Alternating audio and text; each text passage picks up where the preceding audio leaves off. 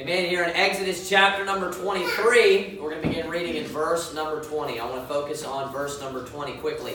Behold, I send an angel before thee to keep thee in the way and to bring thee into the place which I have prepared. Beware of him and obey his voice. Provoke him not, for he will not pardon your transgressions. For my name is in him. But if thou shalt indeed obey his voice and do all that I speak, Then I will be an enemy unto thine enemies and an adversary unto thine adversaries. Verse 23 For mine angels shall go before thee and bring thee in unto the Amorites and the Hittites and the Perizzites and the Canaanites, the Hivites and the Jebusites, and I will cut them off. So here in verses 20 through verse 23, chapter number 23 here of the book of Exodus, we see a specific angel being spoken of that's talked about that God is going to send before the children of Israel.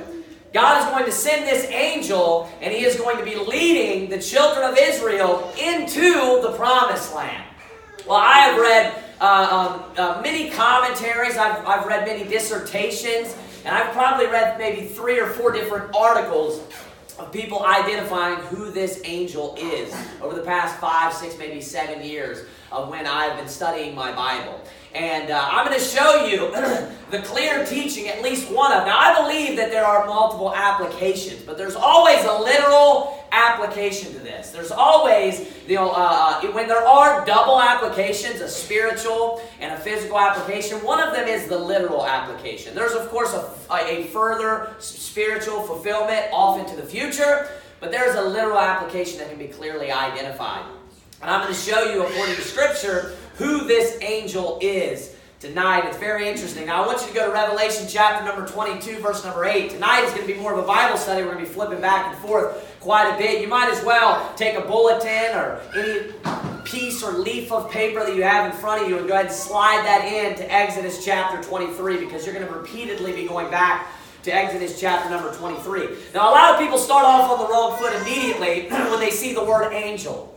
A lot of people uh, have the misconception that angel can only or exclusively be referring to a celestial being. Uh, even a lot of times people will refer to it as an angelic being. But the word angel just means messenger. There are people that are referred to as angels in the Bible when these are just normal men. They are just regular men. I want you to look here in Revelation chapter number 22. We're going to look at verse number 8 of an example of that. this is John in the book of Revelation.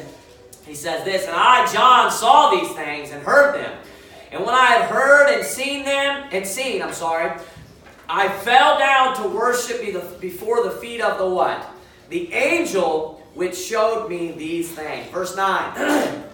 then saith he, that's the angel, then saith he unto me, See thou do it not, for I am thy fellow servant. And then he says this, and of thy brethren the prophets, and of them which keep the sayings of the book. Worship God. So we can see here that, that John identifies this man as an angel. And this man says to John when he falls down before his feet, Hey, I am of thy fellow servants. And then he specifically says, I'm, I'm one of your brethren. I'm a brother of you. So what does that mean?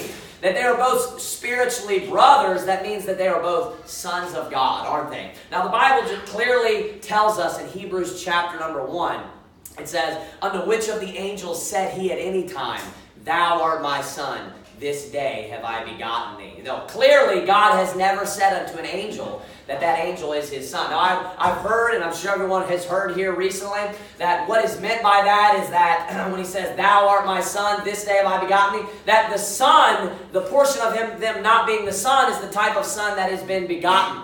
But that's not true because the very next verse disproves that. He says, Thou art my son, this day have I begotten thee, and again I will be to him a father and he shall be to me a son. Tying in the concept of saying that it's, not, it's not his son. It's not referring to the being begotten, it's referring to that they are not his sons. Angels are not the sons of God. Therefore, when this man looks at John and says, Hey, you're my brother, he even says he's of the prophets. Also, further proof of that. But he says, Hey, I'm your brother, you're my brother. What? Why are they brothers?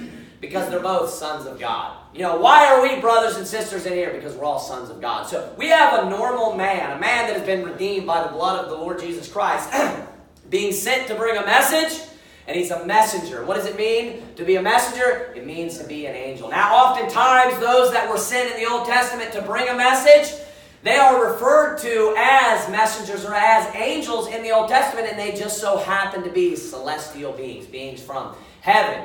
So that is why oftentimes people have the misconception that an angel has to be a celestial being or it has to be a being a being from heaven, but it does not. So we have a clear example of that. And this is where people oftentimes start off on the wrong foot in Exodus 23. Go back to Exodus chapter number 23. That's the first thing that I want you to understand is that an angel does not have to refer to a celestial being. I just showed you an example of that. I couldn't think of any others, but I would be uh, hard pressed to believe that there aren't any other examples in the Bible of an angel referring to a man. Maybe you could do a Bible study. Possibly that's the only example, but that's really the only example you need to prove that. And then the word itself just means messenger. So here when he says, verse 20, Behold, I send an, an angel before thee. What is he saying? I'm sending a messenger. I'm sending someone before you. Who goes before someone? This is an army. The nation of Israel is an army. If we read down further, look at verse 22, or 23, I'm sorry. For mine angel shall go before thee and bring thee in unto the Amorites and the Hittites and the Perizzites and the Canaanites and the Hivites, the Jebusites. And what does it say? And I will cut them off. So what's he talking about is going to happen? There's going to be a war, isn't it? He's saying, I'm going to bring you into this land where the Gentiles are, where the Canaanites, the Amorites, the Perizzites, the Hivites, the Hittites, all these people are located, the Jebusites. And what does he say? This angel is going to go before you, and you're going to cut them off. So what's going on? There's a war going on in there. They're fighting. So who's the one that goes before them? What would he be called? Maybe a captain or a leader or something like that, right? I want you to go to Deuteronomy chapter number 1, verse number 38. Deuteronomy chapter number 1, verse number 38. Now, who was the leader that brought them out of Egypt? What was his name? Moses brought them out of Egypt, right? Moses brought them out of Egypt and he he led them forth into many battles. They fought a lot of battles when, when uh, Moses was their leader, right? Uh, Moses was the captain of the army of hosts at that time, of the army of Israel, if you will. He was their captain, he was their leader, and he sent them forth into battle. Now, who led them through the wilderness? Moses, right? But did Moses, was Moses the one that actually led them into the land of Israel? He was not. Who was? Joshua. Joshua. I want you to look at Deuteronomy chapter number 1, verse number 38. Deuteronomy chapter number 1 verse number 38. Let's start up a little earlier than that, though. Um, let's look at uh, verse 34. And the Lord heard the voice of your words and was wroth and sware, saying, Surely there shall not one of these men of these, this evil generation see that good land which I swear to give unto your fathers. Talking about the 12 tribes. Uh, the 12 spies of the 12 tribes. Ten of them brought back an evil report, and two of them, Caleb and Joshua, uh, they, those two men brought back a good report. They trusted in the Lord and thought that they would be able to defeat them. And that's what it tells here in verse 36. Look at verse 36. Say, Caleb, the son of Jephunneh, he shall see it, and to him will I give the land that he hath trodden upon, and to his children, because he hath wholly followed the Lord. Look at verse 37. Also the Lord was angry with me. This is Moses speaking.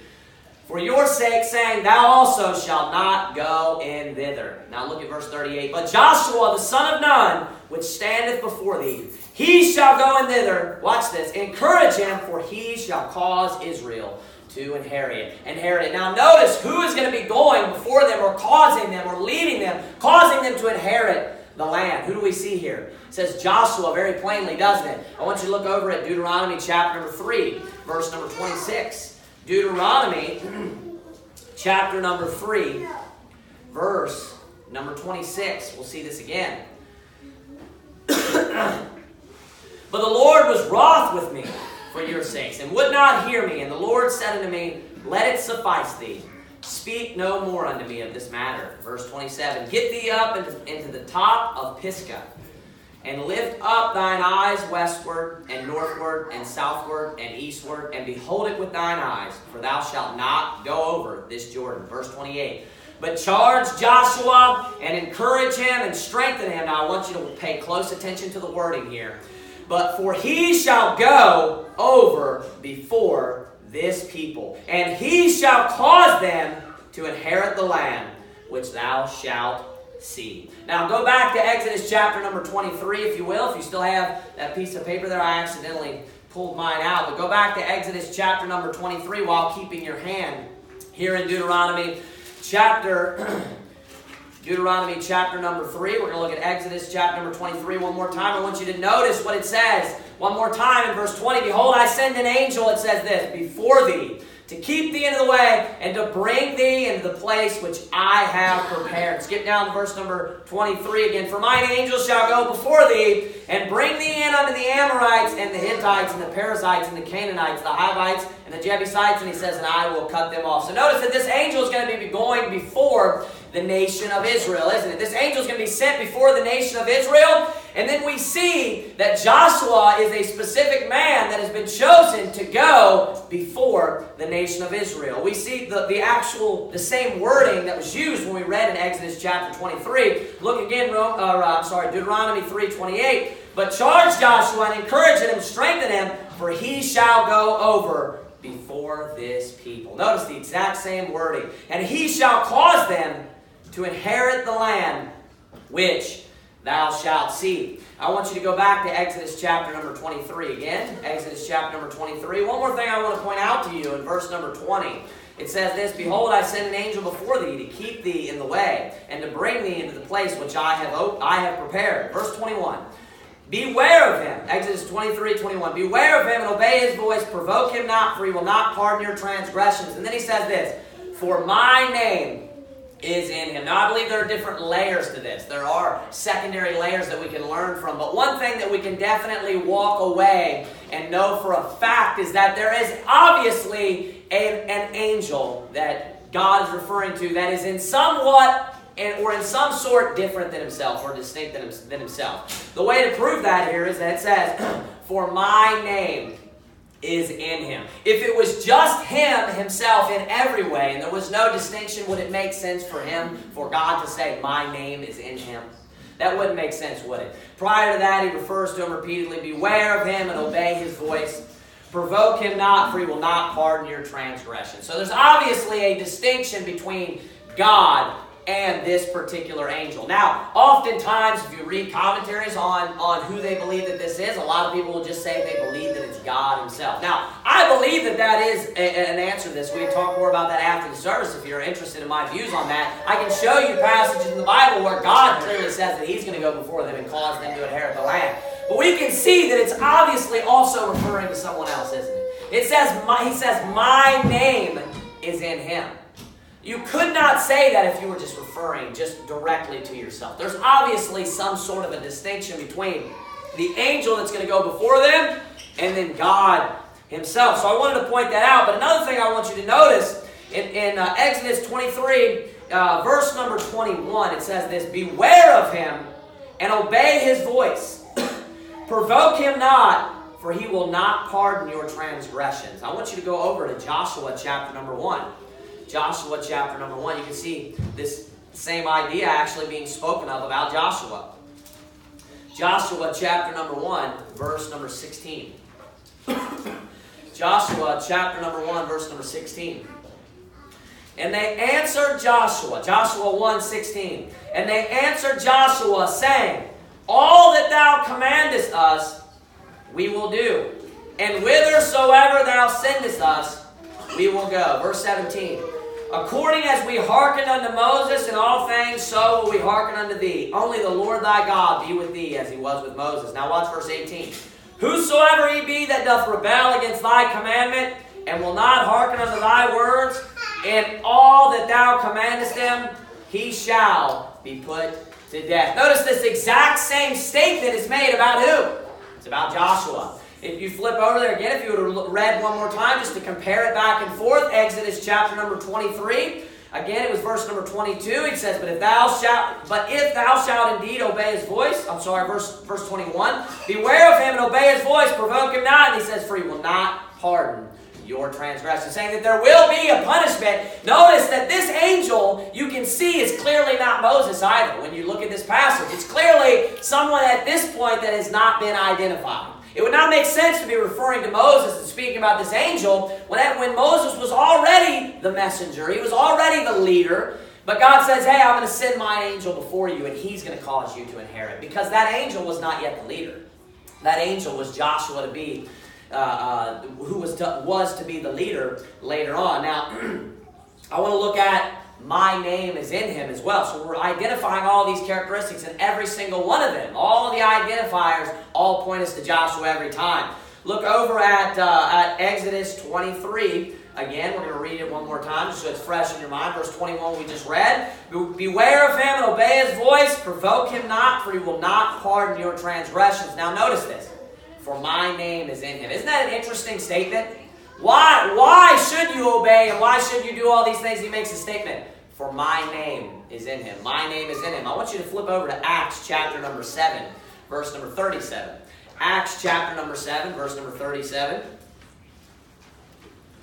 Acts chapter number 7, verse number 37. Now this is this is Stephen right before he was martyred. He's preaching and he is uh, he has a, a, you know a long sermon, uh, a, a, a dissertation or an overview is what I was going to say of the Old Testament. That's what he's preaching. He gives an entire overview of what took place in the Old Testament. And right here we see in verse 37 of Acts chapter number 7, Stephen is talking about Moses. He says this in verse 37 This is that Moses which said unto the children of Israel, Prophet shall the Lord your God raise up unto, unto you of your brethren, like unto me. Him shall ye hear. Get down, just go to verse 39. To whom our fathers would not obey this is talking about Moses still, but thrust him from them, and in their hearts turned back again into Egypt, saying unto Aaron, Make us gods to go before us, for as for this Moses which brought us up out of the land of Egypt, we wot not what has become of him. And they made a calf in those days, and offered sacrifice unto, unto the idol, and rejoiced in the works of their own hands. Then God turned and gave them up to worship the host of heaven. As it is written in the book of the prophets, O ye house of Israel, have ye offered to be slain beasts and sacrifice? sacrifices by the space of 40 years in the wilderness? Yea, ye took up the tabernacle of Moloch and the star of your god Remphan, figures which ye made to worship them, and I will carry you away beyond Babylon. Verse 44 verse 45. Our fathers had the tabernacle of witness in the wilderness, as he appointed, speaking unto Moses that he should make it according to the fashion that he had seen. Look at verse 45. Which also our fathers that came after, so came after Moses, brought in with Jesus into the possession of the Gentiles, whom God drave out before the face of our fathers unto the days of David. Now, a lot of people, when they're reading the Bible for the first time, this verse might confuse them because you know what, what name is found there that, that you're not expecting to see is what? The name Jesus, right? a lot of the, I actually looked up practically every single Bible version, just a few minutes in my, a few minutes ago in my office to see if it's changed since, you know, maybe five, six years ago when I looked this up the last time. All of the new modern Bible versions, all of them, change the name Jesus here to Joshua. Now, who is it talking about? It's talking about Joshua, right? It's talking about Joshua of the Old Testament. When you look at verse 45, it says, Which also our fathers that came after brought in, it says with Jesus, it's talking about who we know from the Old Testament as Joshua. And it says in with Jesus, that's Joshua, into the possession of the Gentiles. Now, who are the Gentiles? The Amorites, the Jebusites, the you know uh, Hittites, the, the Hivites, right? All of them. That's who it's talking about, right? Now, why does it use the name Jesus? Because Joshua is the name Jesus. Now, all of the modern Bible versions, all of them, change this to Joshua. I just looked up every practically everyone that I can think of, all the way to ones that are hardly ever used, but are you know, but somewhat talked about, like good news for modern man. I mean, I looked up the ESV, all of them, every one of them says Joshua. That is an incorrect translation. That is not correct. Joshua is the translation from Hebrew to English. Jesus is the translation from Greek to English. It's not the same. The letters are different. You, you, to correctly translate that name, you have to translate the way that the word is in Hebrew and how the letters are, are, are formed and originate into English in the same exact way. It has to do with pronunciation and things like that as well. It's not the same. So it is. So they think what they're doing is they're they're preventing confusion by making sure that you understand that it's Joshua. But what they're really doing is preventing you from understanding your Bible. Because what happens is you read here in Acts chapter number 7, it causes confusion for a moment. You look it up and you figure out who it's talking about, and you know what you determine? You determine that the name of Jesus is the same as the name of Joshua. This actually occurs one other time in your Bible. So that makes it that much easier. When it comes up two times, both times you figure out it's talking about who. We're going to look at that in just a moment. It's talking about Joshua of the Old Testament. And then you can clearly see. I look at all of the translations prior to the King James Bible. What do you think that they translated it as? Yeah, take a guess. Jesus. All of them. I looked at the Wycliffe, I looked at the Tyndale just a few minutes ago. I'd never done that before. All of them translated as Jesus. But you know why? The correct translation is Jesus. And it's meant to be that way. So that you can learn something from it. you know what the name Joshua is? You know what it means? It's Jesus. And it means Jehovah saves. So notice that you don't need to know Hebrew to know that. And this is a little truth that we can, we can further shed light on Exodus chapter number 23. So when God says, My name is in him, and we see all the other identifiers pointing to Joshua, right? We get to the New Testament, we read a passage about when they go into the land of Israel, the land of the Canaanites. Who does the New Testament say took them in? What name does it use? Jesus. That's interesting, isn't it? I want you to turn now. Let's go back to uh, let's go to Numbers chapter number 13. I don't know if you've ever noticed this. This is very easy to read over. But did you ever notice that Joshua's name was changed at one point? Joshua's name was actually changed at one point. God, when, when, when a man's name is changed in the Bible, it's always for a particular reason. It's always normally when they're beginning to, to, be, to begin a ministry for the Lord. You see uh, Abram's name being changed to Abraham when the covenant is finalized and all that, right? What, what happened with Paul? As soon as God chooses him and, and starts to begin to use him, what does he do? He changes his name from Saul to Paul. What happens with Jacob? As soon as he makes the covenant with him, what does he do? He changes his name to Israel. As soon as a man is getting ready to begin a work for God, as soon as he's getting ready to do some sort of work for the Lord, God will often, before he begins the ministry, he'll change his name. That's very common very often uh, takes place in the Bible. Look at Numbers chapter 13. Verse number 1, it says this, And the Lord spake unto Moses, saying, Send now men that they may search the land of Canaan, which I give unto the children of Israel. Of every tribe of their fathers shall ye send a man, every one a ruler among them. And Moses, by the commandment of the Lord, sent them from the wilderness of Paran. All those men were heads of the children of Israel. And these were their names of the tribe of Reuben, Shammua, the son of Zaccur. Of the tribe of Simeon, Shaphat, the son of Hori. Of the tribe of Judah, Caleb, the son of Jephunneh. Of the tribe of Issachar, Igal, the son of Joseph. Of the tribe of Ephraim, watch this, Oshea, the son of Nun. Now, who is the son of Nun? Who is well known as the son of Nun in the Bible? Joshua is the son of Nun. There's a there, you know there's a, a joke amongst independent fundamental Baptists. I don't know if I've told it to you guys before, but who is I'll tell it to you now right behind the pulpit. Who is the only person in the Bible that didn't have any parents? Anybody?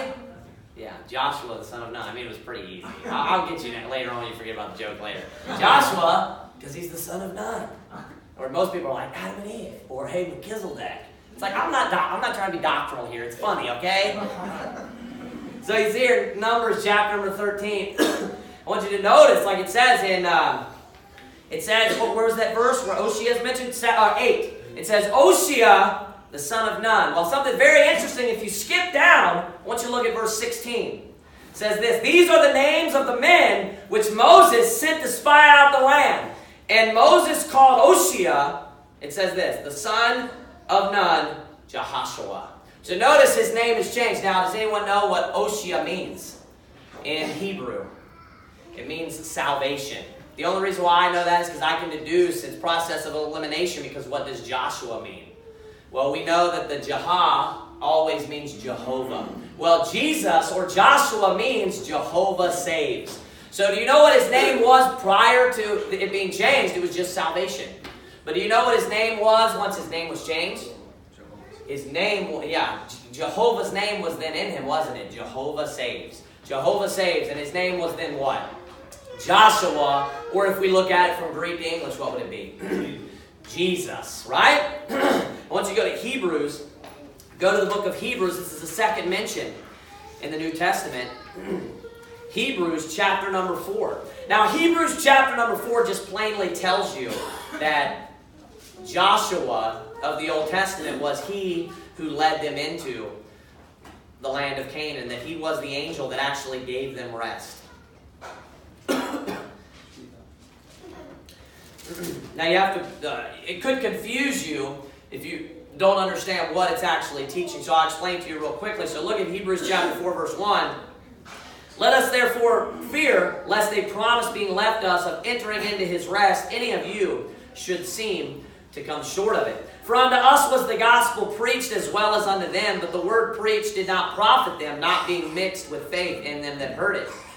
For we which have believed do enter into rest. As he said, As I have sworn in my wrath, if they shall enter into my rest, although the works were finished from the foundation of the world.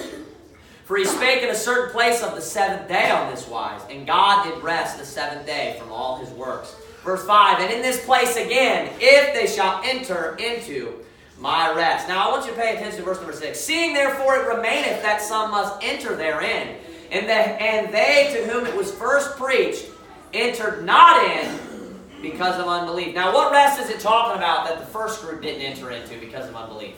It's talking about the rest of going into the physical promised land. Isn't that correct? It's talking about that they weren't able to go into the land of Canaan specifically. Now, now was that the permanent rest or was that the temporary rest?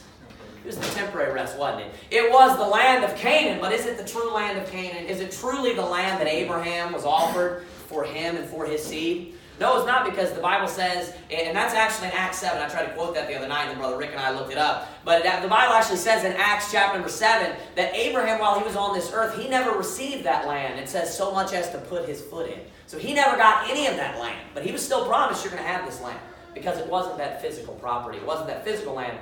It's New Jerusalem. So right here, notice that it says that they didn't enter into that rest. So that was considered a rest, wasn't it? But it was a temporary rest. It was not the fulfillment of the real rest, the spiritual rest, and the real promise, which is the promised land in heaven, New Jerusalem. So look at verse number 7. Again, he limiteth a certain day, saying, In David, so David said this, Today, after so long a time, as it is said, today, if you will hear his voice, harden not your hearts. Now, I want you to pay close attention to verse number 8. For if Jesus had given them rest, then would he, is talking about David, then would he not afterward have spoken of another day? Now, when it says Jesus there, who do you think it's talking about? It's talking about Joshua of the Old Testament, right? So, what it's saying is if Joshua had given them rest, then would not it afterward, then would not he have afterward have spoken of another day? Now, the children of Israel, they thought that that was their rest, didn't they? They thought when they, you know, came into the promised land, they thought when they came into the physical land of Israel, they thought, hey, I finally rested. I'm finally here where I'm supposed to be. But that was not really the rest. And that's what this passage is explaining. That David, after they were already ready in the promised land, would not afterwards have to speak of rest to come if that was the rest in the first place. You wouldn't need to talk about a rest anymore because you're already there. You would already have rested or be resting right now the, what the passage is teaching is that that is not the fulfillment of the rest. There was a rest there, though, wasn't there? There was a physical rest. Now, that's the point that you need to understand is this. When Paul's writing this, which I believe Paul would be the author of the book of Hebrews, when Paul is writing this, he's writing this to a Hebrew audience that is supposed to be familiar with the Old Testament, isn't it? And he knows that the people writing this, or reading this, the Hebrews, who are they going to think gave them rest? Joshua. Their presupposition for reading the Old Testament is hey, what happened? Joshua gave them rest, isn't it? Joshua's the one that gave them rest. So who led them into the promised land? According to them, Joshua. Do you understand that point? That's very important. But when you get here, it says, for if Jesus had given them rest. It's saying Joshua, if he really had, I know you think he'd given them rest, but if he had really given them rest, then David would have not afterwards have spoken of another day. Does that all make sense? So notice who Joshua is here. What's the name that's used? It's the name of Jesus, isn't it? So who was the one that really led them into that land and gave them rest? The physical uh, land in the Old Testament. It was Jesus, wasn't it? God said that he was going to send an angel before them, didn't he? Once you go back to the Old Testament. Go back to Exodus chapter number 23. We'll look at that passage one more time. So we saw first there in Exodus chapter number 23 that this angel is going to go before thee, right? Who did it say later on went before them? Said Joshua went before them, didn't he? He said he was going to send Joshua. Moses actually appointed or ordained Joshua, and he used the exact phrase that he was going to go before them, didn't he? When did he when did he go before them? What was the reason that he went before them? To lead them into the way. What was he? He was their leader, wasn't he? Then we look further down, and what was it? it? It's, it's into battle. What did Joshua do? What was the purpose of Joshua leading them into battle? Right? He was the captain of the army, wasn't he? He was actually, he was not just a leader, you know, sitting back. He was actually the captain of the army. That's why it's worded there when you look at verse number 23 that there's going to be battles that are taking place. There's going to be fighting that's taking place. Not only that, number 22, we see verse number 22 in chapter number 23, we see that they have to obey his voice, or there's going to be consequences, and that their transgressions will not be forgiven. That is also spoken of of who? Joshua, wasn't it? They said that they had to obey his voice, and if they didn't, what was going to happen? They were going to be put to death. Right? Not only that, the person speaking to him said what? Here's another hint. My name is in him. What was his name prior? Oshea. And what? Right before Moses died, what did he do? Laid, laid his hands on him, and then the Bible makes sure that it gives you that little nugget of truth. And Moses called Oshea Jehoshua, which is what? Jehovah salvation. Now I want you to think about this. The person that's speaking here in verse number 20 is who? It's the Lord, it's Jehovah, it's God of the Old Testament. And what does he say there in verse number 21? Beware of him and obey his voice. Provoke him not, for he will not pardon your transgressions. And then Jehovah of the Old Testament says this For my name is in him. Who was the angel that led them in? Joshua. What's his name in the New Testament? Jesus. Go to Matthew. Keep your hand here. Go to Matthew chapter number 1. Matthew chapter number 1. Matthew chapter number 1. it says this in Matthew chapter 1, I want you to look at verse number 18. Now the birth of Jesus Christ was on this wise. When as his mother Mary was espoused to Joseph, before they came together, she was found with child of the Holy Ghost. Then Joseph, her husband, being a just man and not willing to make her a public example, was minded to put her away privily. Verse 20, But while he thought on these things, behold, the angel of the Lord appeared unto him in a dream, saying, Joseph, thou son of David, fear not to take unto thee Mary thy wife, for that which is conceived in her is of the Holy Ghost. Pay close attention to verse 21.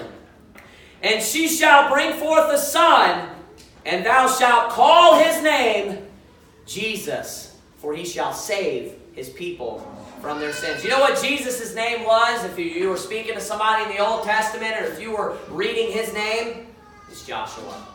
Keep reading there, verse 22. Now all this was done that it might be fulfilled, which was spoken of the Lord by the prophet, saying, Behold, a virgin shall be with child, and shall bring forth a son, and they shall call his name Emmanuel, which is being interpreted, which being interpreted is God with us.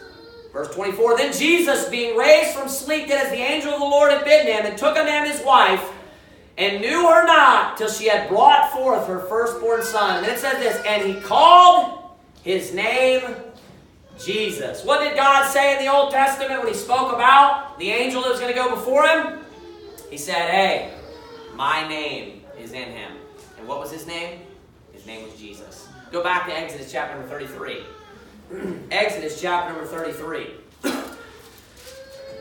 now, there are secondary applications this, of course, and we're going to see a part of that right now. But I want you to also understand that Moses knew and Moses understood that there was an angel, a physical angel, which was not an angel from heaven, but a man that was going to be the leader that brought them in. And Moses understood that this must be some leader other than myself. This is going to be a man, and it's not me. Which, I, what is, how surprising would that be to you if you were Moses? When God then tells you, hey, there's going to be an angel that's going to come, there's going to be a messenger, a man that's going to lead them in to the land.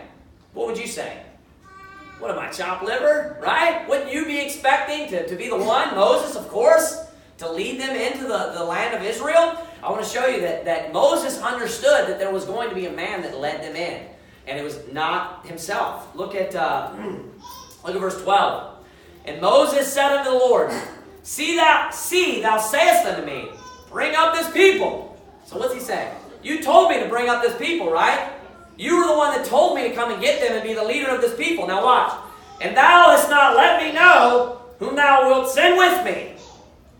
Yet thou hast said, I know thee by name, and thou hast also found grace in my sight. Now therefore I pray thee, if I have found grace in thy sight, show me now thy way, that I may know thee, and that I may find grace in thy sight, and consider that this nation is thy people. I want you to go to the very beginning of the chapter. Look at verse 1. and the Lord said unto Moses, Depart and go up hence, thou and the people which thou hast brought up out of the land of Egypt. That sound familiar? Notice how he just said, You told me to bring up this people out of Egypt, referring to him, himself being as the leader. Unto the land which I swear unto Abraham, to Isaac, and to Jacob, saying, Unto thy seed will I give it. Now, who does it sound like is going to be that leader to Moses right now?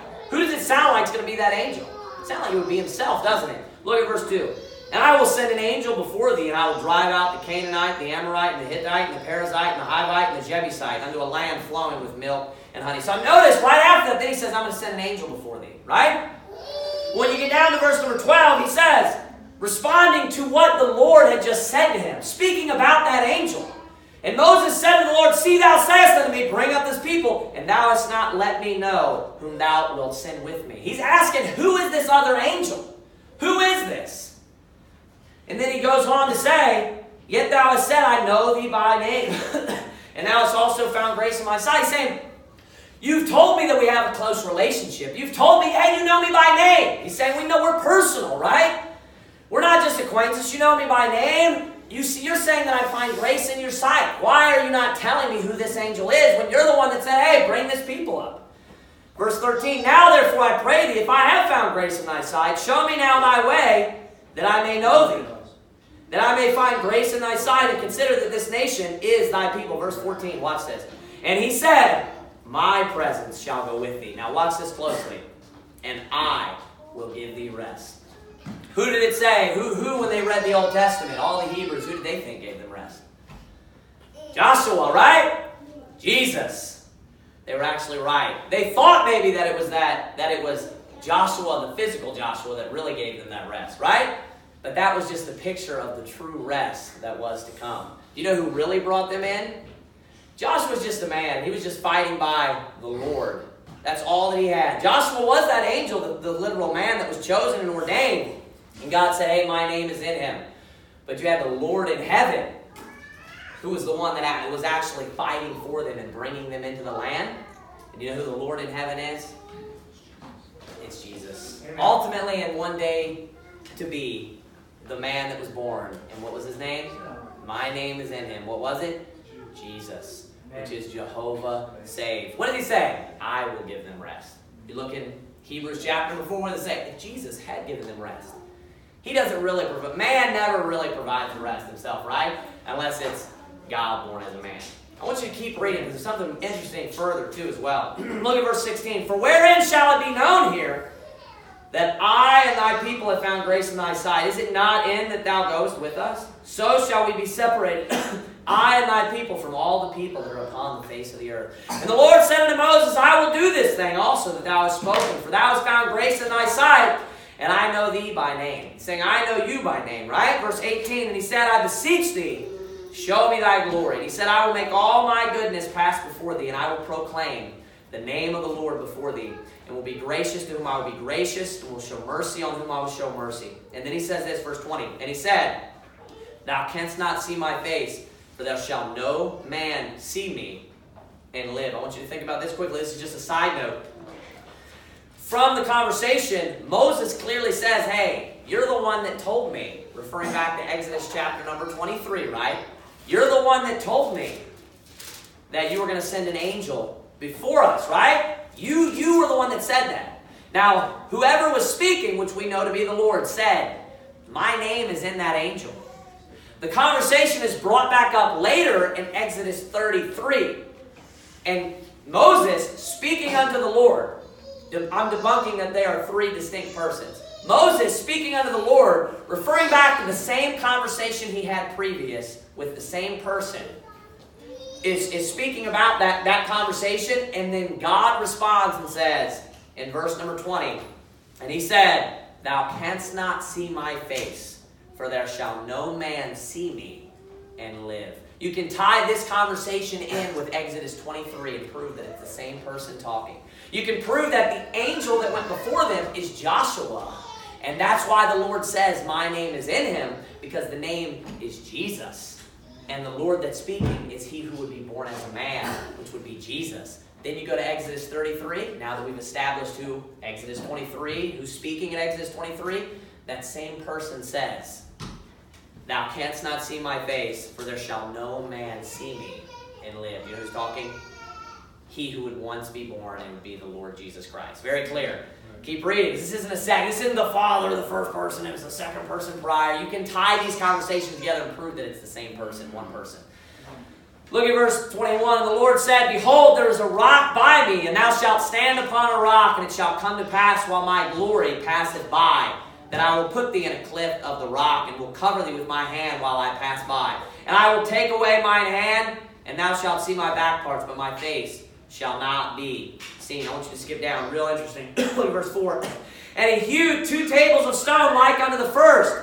And Moses rose up early in the morning and went up unto Mount Sinai as the Lord had commanded him, and took in his hand the two tables of stone and the Lord descended in the cloud and stood with him there and proclaimed the name of the Lord.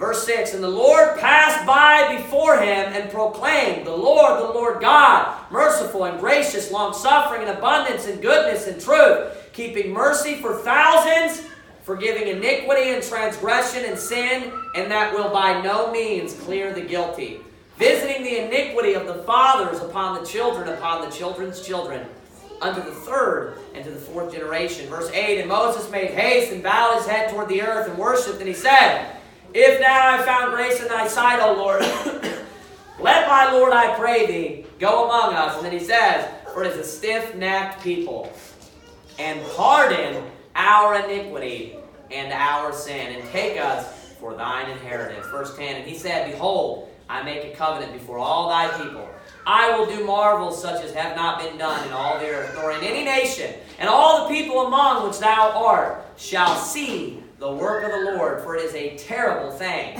that I will do with thee. Verse 11 Observe thou that which I command thee this day. Behold, I drive out before thee the Amorite, and the Canaanite, and the Hittite, and the Perizzite, and the Hivite, and the Jebusite. Take heed to thyself, lest thou make a covenant with the inhabitants of the land whither thou goest, lest it be a snare in the midst of thee. So we can see there at the end that the Lord says, Hey, you know who the angel really is? It's me. The angel is me. Because why? Because the Lord is the one that's doing the works all along. Now, he, he anointed, he selected Joshua. And of course, Joshua did a great work as a man, leading him. But always, you have these pictures all throughout the Old Testament, all types of different pictures. And Moses, being the first man, what does he picture? Moses pictures what would be considered like the first advent of the Lord Jesus Christ. Moses came and Moses led them. He did all the hard part. He led them through the battles and the wars and, and brought them into the wilderness. And then when Joshua shows up, that's the second advent of the Lord Jesus Christ. So all these pictures are just pictures of the man Christ Jesus to come one day. When you read in your Bible, when you read in the Old Testament, as I have said, and I've preached on six or seven, maybe, maybe even eight, nine, I'm not sure, different typologies in the Bible, every single one of them point to who? The Lord Jesus Christ. Amen. That angel is very clearly and indisputably referring to the man Joshua. You know, the man Joshua actually represents specifically, it represents the humanity of the Lord Jesus Christ, the man. And then that's why you have the Lord in heaven also saying, Hey, I'm that angel. So you have his deity here, the Lord in heaven, and then you also have, of course, who the man Christ Jesus is, of course, fully God, he had two natures. You have Joshua representing the man, the humanity, the other side. That's why, that's why God tells you, hey, my name is in him. What is it always pointing to? Where does all the glory go? There's only one name under heaven given among men whereby we must be saved. The name of glory, the greatest name that has ever been spoken of, was revealed all the way back in the second book, the second book of the Bible, in the book of Exodus. They already told him, even at that point, what the name of God would be, that we would forever praise and forever glorify. You have these nuggets in your Bible that you can study out and you can figure that out. I believe that it was possible for them to figure that out. When, when you read in the book of Hebrews, the audience clearly already understood that who gave them rest. They understood that in a sense Joshua gave them rest. When you read in Exodus 33, what does it say? The Lord says, I will give rest. You see how you can make these connections all on your own and understand, man, my, name is in him. They already, God, hey, Joshua was the one, Joshua was that angel that led them in. Joshua was the one that gave them rest. And the Lord said, I will give thee rest. You see how both are true? Because Jesus really will give us rest. He'll bring us into that, the real fulfillment. Amen. Joshua gave them temporary rest, right? There were blessings of that. But you know what? Joshua really will give us the real rest. The Lord Jesus Christ. He'll give us the, the spiritual rest. The rest that will never end. It'll go on and on forever and for eternity. Study your Bible. Try to find these jewels and gems on your own. There's a lot of great things in the Bible that can that can uh, you know uh, spark or refuel the fire of the love of God's Word in your heart. It's amazing when you study your Bible, you just continually just study, you keep finding new things, and it just further proves no man can ever write this book. It's the greatest book that's ever been written. There, there, there are so many just great truths and just the, the depths of God's Word never ends. So just study your Bible, love your Bibles. Let's bow our heads and have a word of prayer.